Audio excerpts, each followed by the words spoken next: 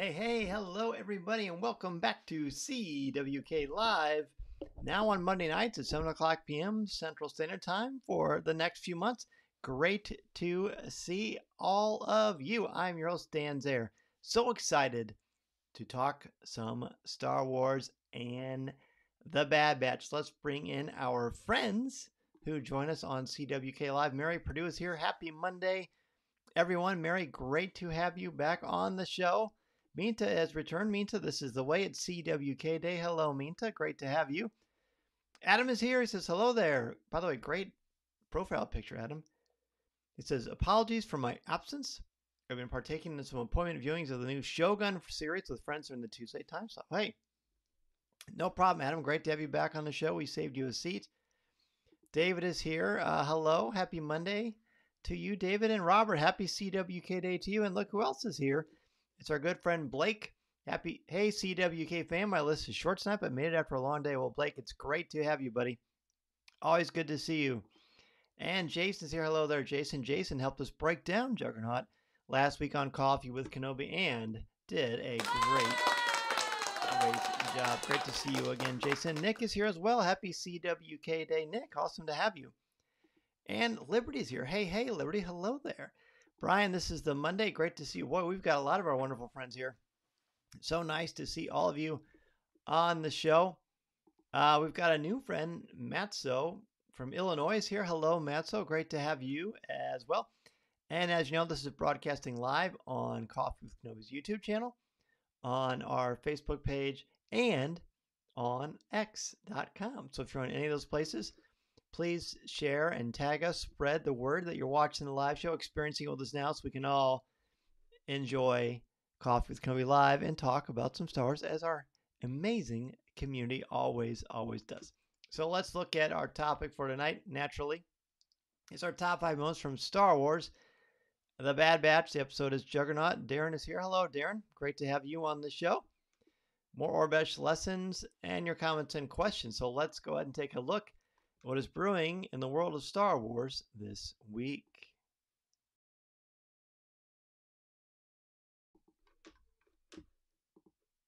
All right, we've got, uh, we're going to jump into our Aurebesh lessons. Yes, we're going to talk about Juggernaut naturally. But before we get to that, let's let's go ahead and do some Aurebesh.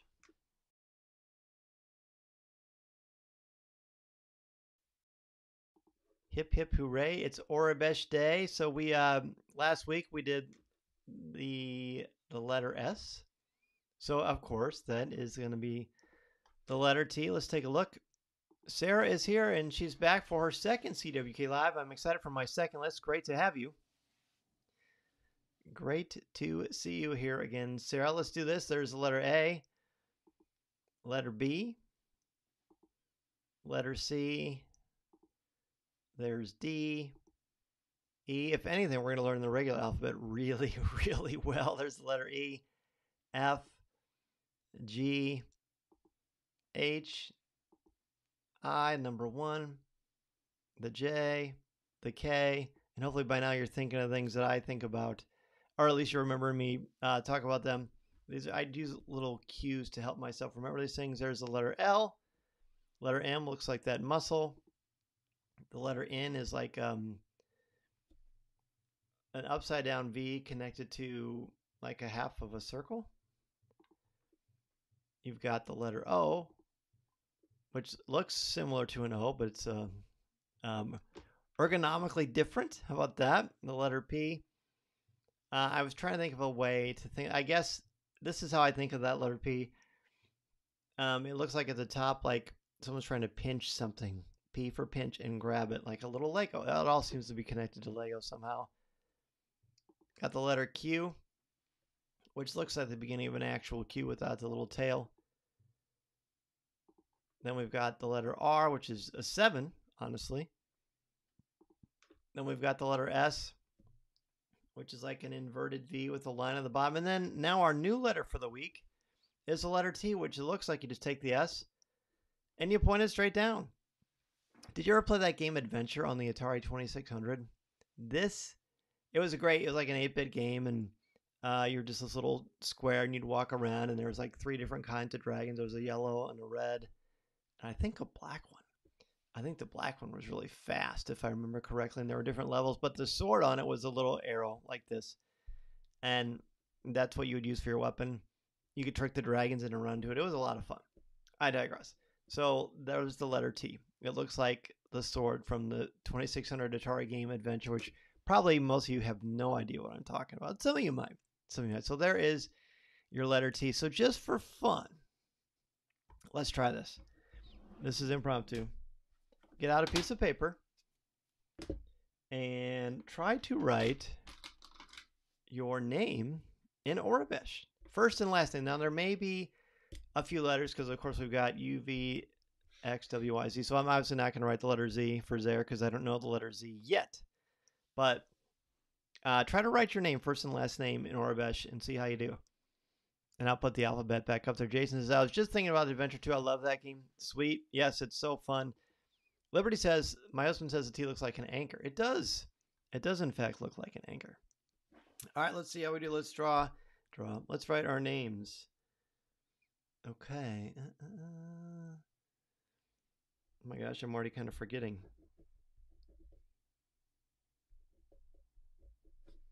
Uh, and.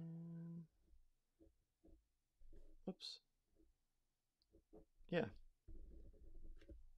D A N and then Z. I have no idea, so I'm gonna put a question mark when I don't know something. E E H. Let me think about that. I do think it's so fun to try these when you are actually writing out your name. But so for me, H H H E. See, sometimes it, what helps is you can kind of go through the alphabet in your mind, like we just did here, and that's how you can remember. Actually, I can't remember suddenly. Oh wait, now I remember the H. And then R was right before the S. P is for pinch. R was a little bit different. I can't remember the R. Oh well, I'm gonna I'm gonna put up the alphabet itself, the full alphabet, and everybody can kind of grade themselves.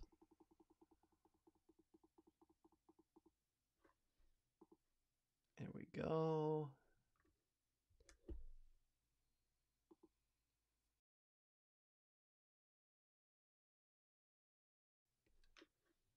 All right, there it is. So there, there it is. See how you did.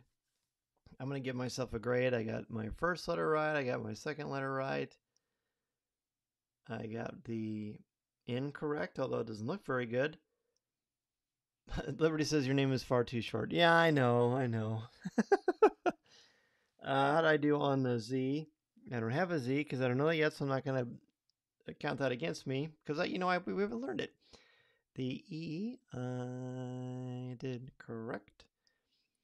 The H I got right, and the R I couldn't remember. Now I'm looking at the R. Oh, it's a seven. Rats, rats, rats, rats. So I missed one, but mine, as Liberty pointed out, mine was only four letters. So you know, I it was um a little bit different for me, uh, a little bit easier. Uh, but how did everybody else do? How did everybody else do? Again, I, I really think I just got to give myself more quizzes. And I'll, I'll be honest, um, I feel like I haven't been able to put as much into the lessons lately.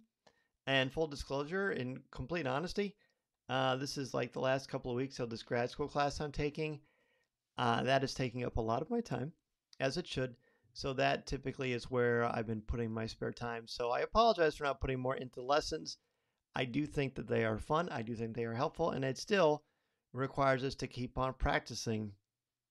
As with all things, that's the main way to get better. Jason says he got 7 out of 9. So, Jason, very good. Very well done. Very well done. How did everybody else do? You can be honest. And if you're not sure, or if you haven't been following along, that's okay too. It's still fun to just get that thrill. As I've said before, whenever I'm watching Bad Batch now, I'll pause it and I'll try to read things on the little readouts and on the screens in the episode. And Sometimes I'm right, sometimes I'm not, but it's a blast. Mary says Chaz has an OT poster from our, from her our university. Totally Norbesh. My goal is to translate. Now, see that is cool, and I have like the the spork bag from Galaxy's Edge, and I've been now I can actually translate it uh, because we already have SPOR and K, so that's fun. But it is a little bit different when you know everybody's watching you uh, do it and you're on the clock. But that's that's how you learn, right? That's how you learn. So, pretty fun. Thank you for joining us on that. Let's go ahead and go into the the main course for this evening, our top 5.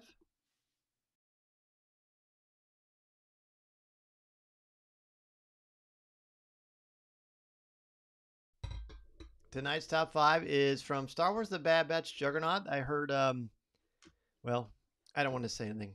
I, I'm I stopped myself. I stopped myself.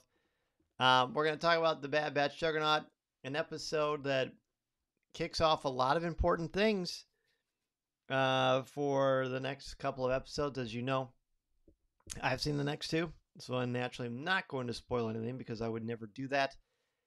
Um, but I, I'm looking forward. I'm looking forward to the future and and future top fives for sure. Let's talk about Juggernaut though. To me, this was a great uh, uh, example of just classic Star Wars action. Look, I said this on the lot on Coffee with Kenobi this week with Jason and Mason. The Jason and Mason kind of rhymes. Not every episode is going to be in, incredibly intense and profound and advance the mythology deeply. That would be boring. That would be not authentic, in my opinion. Just as a as a fan of stories and storytelling, because you have to create steps in that tier to to see where the adventure goes. I'm trying to be very careful about what I say. So it's all right. This was just classic Star Wars action, and I would argue there's some really good subtle character stuff here. So let's dive in and see what we come up with. Number five for me is Wrecker's humor. There are at least three or four times. There are three times that I can think of off the top of my head where Wrecker makes a great joke, uh, especially when he finds out they're going to be a, a, attacking that tank uh, he makes a number of jokes throughout the episode. Uh, he's just fun. He's a lot of fun. He's very, very. Uh, he throws in a lot of levity in a, in some pretty intense situations. Because that turbo tank, I mean, it, it's serious business. Yes, we've seen them in The Mandalorian and in Rogue One, and I think it's cool to see that replicated because remember, this is the beginning of the Empire's reign. The beginning. Just like well, Rogue One's more towards the end of, of the Empire's reign, obviously. So they have to come from somewhere. So seeing the origins of that is pretty cool. Wrecker thinks it's pretty cool because he wants to take the tank down. And that, as well as some other parts, are really, really funny and really, really entertaining. So I enjoyed that quite a bit. All right, let's see what everybody else has here. Number five for Mary the Kiners' music at the end. I know I've said it before, but their music absolutely enhances these episodes. They do. I mean, they are dynamite. Absolutely absolutely dynamite.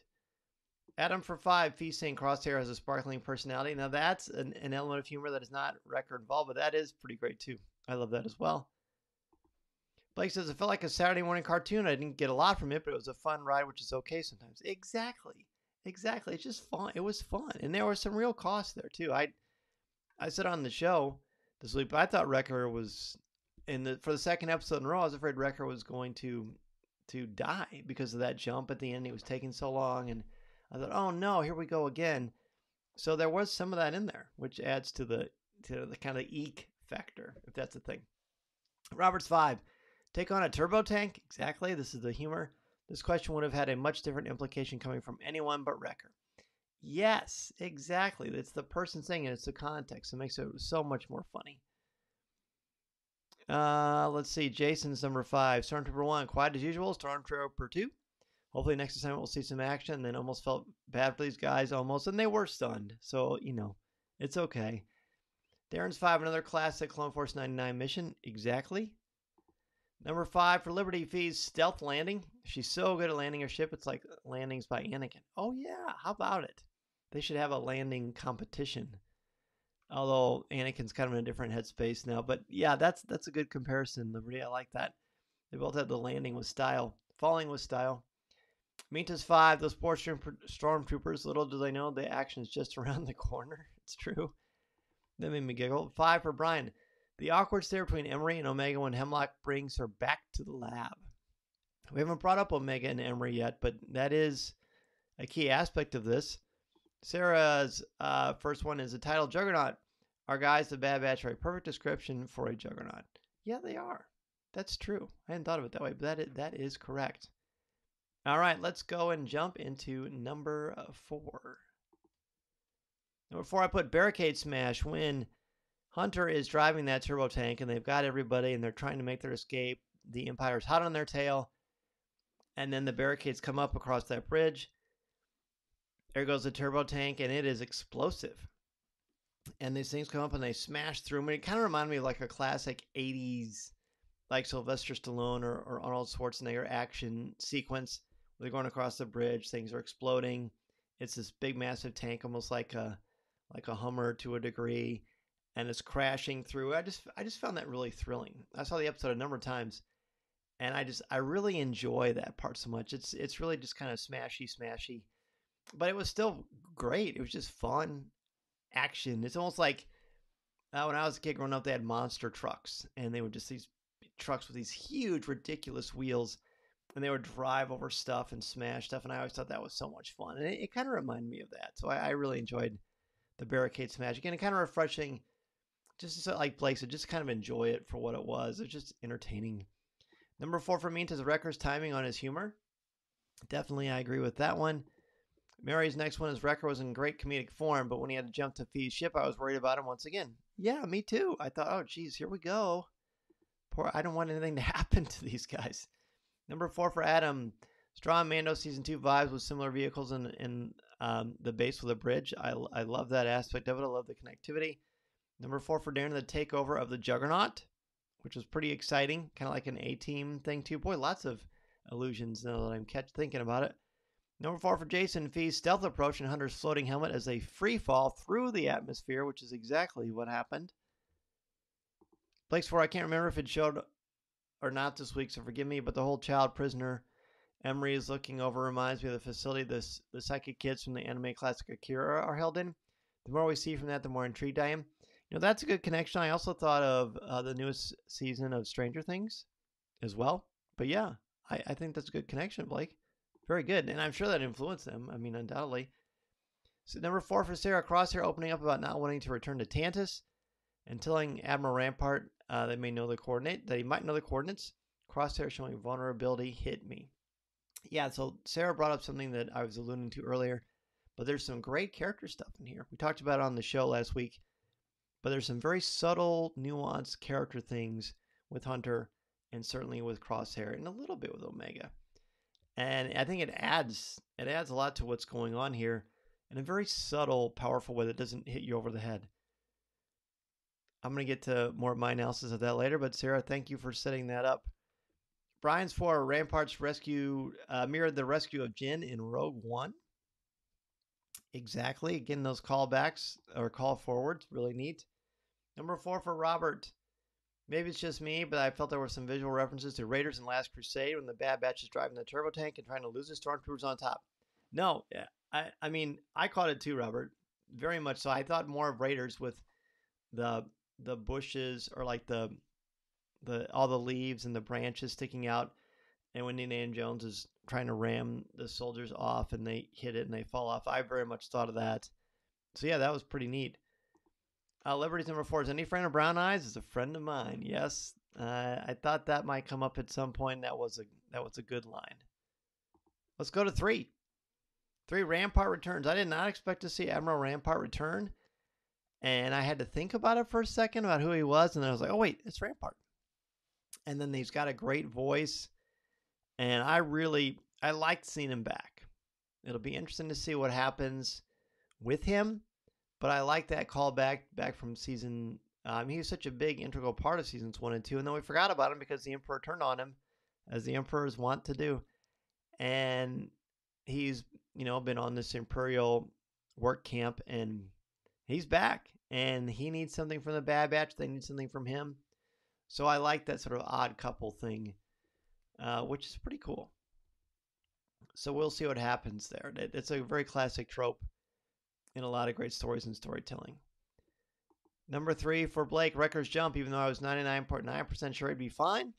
The fact that they can still instill that fear in me from Tech's death, I like. Yes, exactly. As I say, as I've said before, this affects me similarly to Rebels in that we don't know the future of these characters. You know, when it's Luke or Han, it's exciting, but you don't really worry because you know their fates.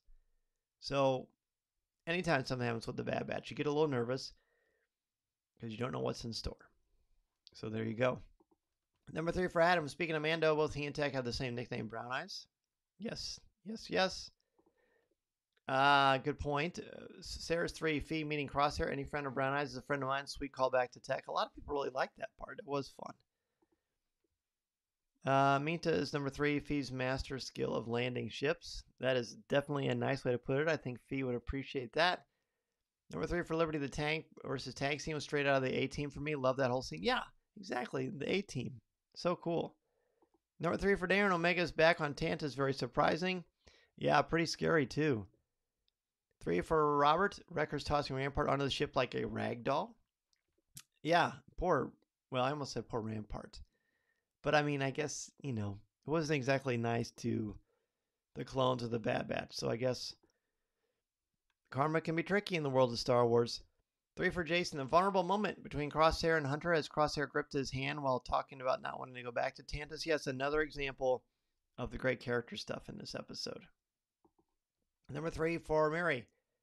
Phee popping up from the hidden cavern. Does everyone know about this hidden cavern except our guys? Apparently. Hey, Smooth is here. What's up, Smooth? Great to see you, my friend. He says, Hey, CWK family, can't say, but I wanted to stop in and say hi. Looking forward to the last three episodes of Bad Batch. Should be an epic conclusion to an awesome three season run. Hear, hear, and Smooth, great to see you again, buddy. Brian's number three from AZ. Do not shoot. It was good to see AZ back. And that was that was pretty good advice. All right, let's uh let's go to number two. Actually, I'll tell you what, before that, let's take a quick little break. I've got a trailer queued up for this week's CWK Pro. It was a fun show this week. CWK Pro is for members of the CWK Alliance. It's a great way to support me and Coffee with Kenobi. And you get access to over 300 podcasts, both video and audio podcasts. This week we caught up on things we've been doing. We did over spring break. I talked a little bit about my trip to Washington, D.C. Uh, Corey talked about some great new collectibles. And we had some fun. This is kind of a jump around of a couple of uh, different things. And it even includes Corey doing a little show and tell. So let's look at CWK pour over this week. We got a bowl of cereal. And we watched the latest episode yeah. of the X Men. I'm holding up a couple action figures here. These, is that the new? Is that the this new? is the new Wolverine and the Cyclops uh, action cool. figures. Is it uh, Hasbro X Men '97? Yes, sir. Are, that Wolverine is fantastic. My gosh, those, oh, they're, they're those wonderful. colors are gorgeous. Wait, is that like Mar- is it called Marvel Legends? Is that what their black? Series? Marvel Legends is the line of, of action figures, but I've got a couple of these.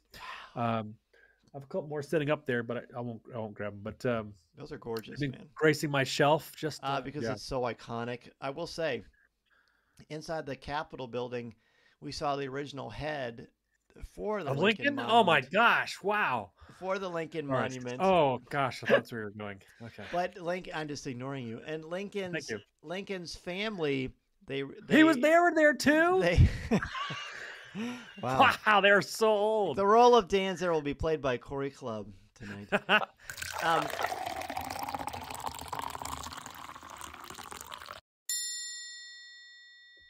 Corey Club, I tell you what. Yeah, that that's a little bit of fun. The great thing about the video portion of CWK Pour Over is you get to see some of those visual things. Sometimes Corey will bring out action figures or I'll do an unboxing. There, there are a lot of fun things. But we have a good time.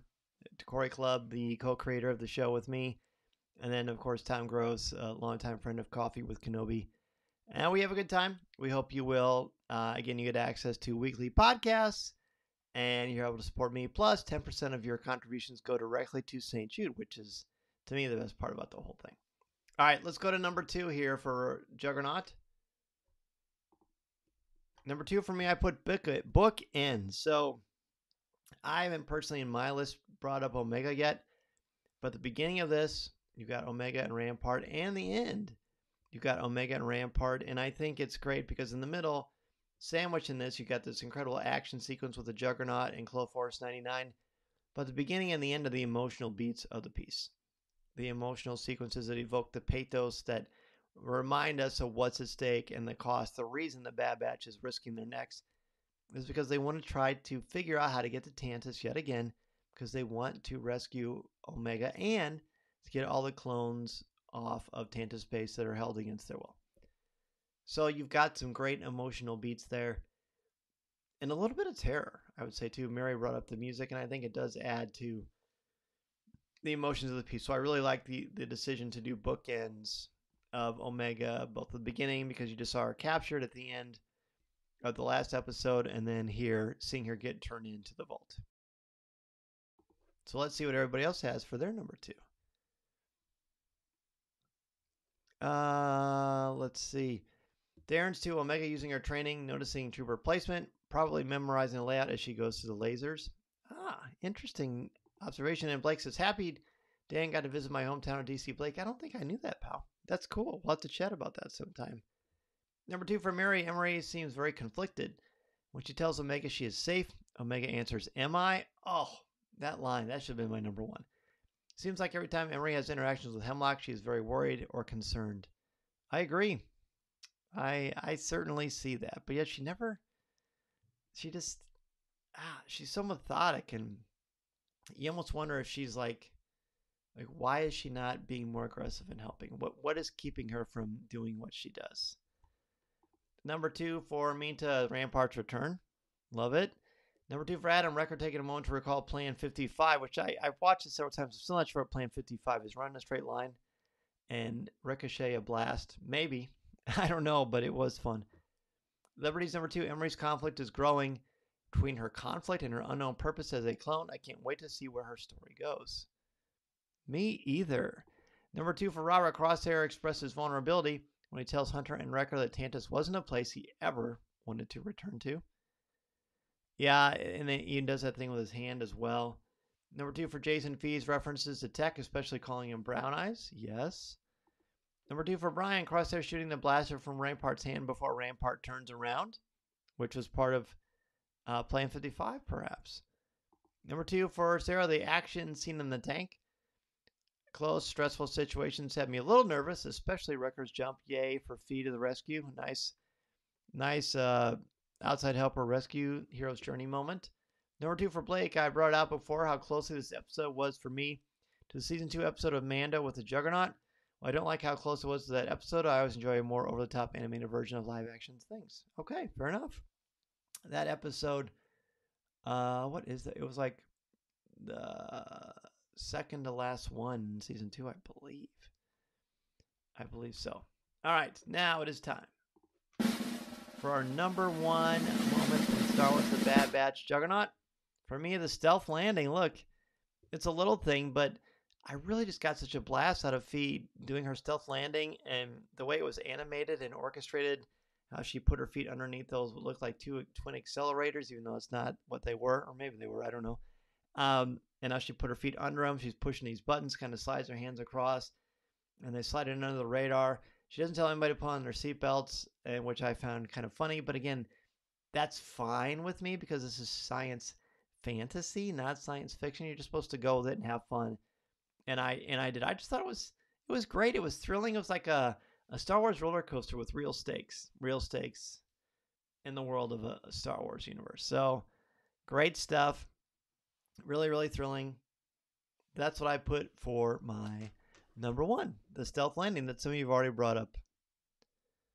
Number one for Adam, listen to the cool, dulcet, Bob Ross esque vocal tones of Dr. Hemlock giving his Bond villain monologue. Now, that, Adam, is quite well said, my friend.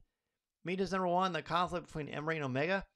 Either their relationship will have a happy ending or a tragic ending. It's true. It is very, very true. Uh, let's see. Darren's number one, the return of Admiral Rampart. Now he, like Crosshair, was a good soldier following orders and ended up in jail. And he even mocks um, him for that. And look how it worked out. Robert's number one, anything? Stormtrooper, yep. Wrecker, that was a laugh out loud moment for me. Wrecker's got so many funny lines in this episode. Number one for Phee, uh, for for Phee. Excuse me. Number one for Mary Phee re- referring to Tech by his name and saying Brown Eyes. She sits across her. Any friend of Brown Eyes is a friend of mine. Good old Wanda Sykes is the voice of Phee. Number one for Brian, Stormtrooper, anything? Wrecker, yep. And then boom goes the dynamite. Number one for Jason, Hunter's determined driving of the Juggernaut, a metaphor for the batch's determination to rescue Omega, which is so fun. Number one for Sarah Emerie telling Omega she's safe, and Omega say, asks, Am I? Also, learning some more about Omega and the experiments. She's a vital piece, and then she meets the, the rest of the puzzle, the force sensitive kids. That's well said. And it is it is all a big puzzle piece. Uh, and it's all fitting together. Number one for Blake, Ramparts returned. Only because I love how well Bad Batch has tied almost everything together. Has it been perfect? No. I have thoughts. But how every episode of the series matters, I sincerely loved and will miss it when it's over. Oh, me too, dude. Me too. It's it's it's my second favorite animated series. Number one for Liberty. This episode feels so much like Mando, the Believer. The Believer. Yes, that's it. Which is still my favorite Mando episode. Wow. The prisoner, rescue the tanks, the suspense, so Star Wars for me. So much Star Wars. And so, so, so good. All right. Well, if you come up with a number one, not only here, uh, but if you're listening to the show on the, your podcast feed after the air after the video airs live naturally on YouTube, X, and Facebook, I take the audio and I put it into the podcast feed so you can hear the podcast. But either way, if you think of a top five and you're listening now and you weren't able to join us live, that's okay. We still want to hear your top five. Please put them on the CWK Cafe, which is our Facebook group. I'll put the logo up there for anybody who, who did not know that. There it is, coffeewithkenobi.com slash community for CWK Live, our Facebook group. We have the best time over there, and I think you will too. So next week, we're going to talk about your top five moments from the Bad Batch into the Breach, which is a Shakespearean reference, by the way. I mean, they didn't create that saying, but once more into the Breach, dear friends, uh, which is a really popular uh, uh, beginning of a monologue uh, from Henry the Henry the Fifth, I believe. I believe that's right. All right, now let's go and take a look at what's brewing in the world of Star Wars. Nope, nope, nope. Never mind. Never mind. I was talking Shakespeare and I suddenly started thinking about my day job. Let's uh, jump to ask Dan Z.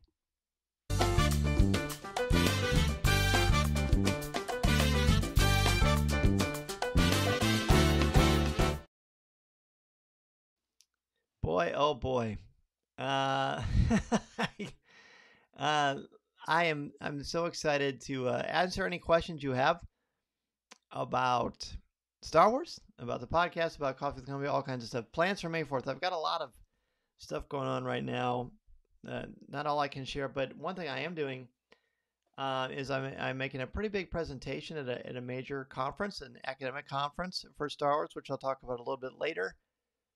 And then, of course, so how many of you are going to do that Skywalker marathon? I, I'm thinking about it, but I don't know if I could stay in a movie theater all day. I just don't think I could, even for Star Wars.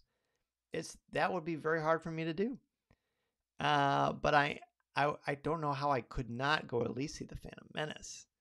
Uh, Mason's never seen the Phantom Menace on the big screen. It's one of his favorite movies, and I think that would just be such a thrill, especially on the 25th anniversary. Uh, Darren's on a scale of 1 to 10, being 10 being the easiest. How difficult or easy is it to come up with your own top five lists that are also short in number or words? Do you, you do explain your top five also? So that's a good question, Darren. I, I don't know. It's sort of a malleable scale. I would say it's usually about an 8 or a 9 for me. I watch them so many times. I write things down, so I look over my notes. Um, I will scroll through the episode if there's things I need to do, but sometimes there's stuff that's so good I'll write down. But obviously, there are things that I miss every week because I always uh, I see your lists that all of you make so beautifully uh, and so insightfully, and I think, oh, I wish I would have said that. So that's why I probably get about seven or eight, maybe a nine sometimes. Blake says he watched the new Fallout show last night. And It was a really good start to a show. What's your favorite video game adaptation to a film or a show? You know, I don't know. Favorite? I don't know. I, I liked, I kind of like the first Tomb Raider, although it's been a while since I've seen it, so maybe it's not any good. I really thought the new Super Mario Brothers movie was excellent. I thought that was a blast. Uh, Mary says I could not stay in the theater for 20 hours, not even for Star Wars. Yeah, it's just it's a long time, man. I wanna like, you know, on the weekend, especially on a school weekend, I want to be with my family, and I don't think I could drag anybody in the theater that long. I, the longest marathon I did was I did the first four Indiana Jones films. It was way before they even had the idea of making Dial of Destiny, and, and that was great. But that was a long day, long day, great day, but a long day. Jason, have a great week as well. Uh, I do want to say on on uh, DisneyStore.com, which used to be called Shop Disney, there's a lot of great May the Fourth stuff, a lot of great Star Wars products that are out there. So be sure to check that out. And if you ever go to the Heroes and Villains website, make sure you use the code COFFEE. You get 20% off your order courtesy of Coffee with Kenobi and Heroes and Villains. While we're doing the promos, I mean, come on, how could I not talk about this? The Disney Wish.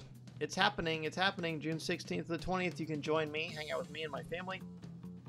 On the Disney Wish cruise line, we've got the Disney, we've got the Star Wars Hyperspace Lounge. It's the second official trip from Coffee with Kenobi and Mouse Fan Travel. Last summer we went on the Halcyon, and that was just the best.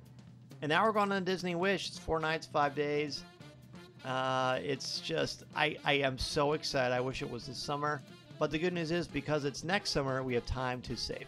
Your full payment isn't due until May, until sorry, until March of 2025. So you've got time. You can get a no cost, no obligation quote at coffeewithkenobi.com slash Disney Wish. And you can go there, book with your Mouse Fan Travel agent today. Just make sure you, you tell them you want to go with me and Coffee with Kenobi. There are other perks and exciting things happening in the meantime, so keep your eye open for that.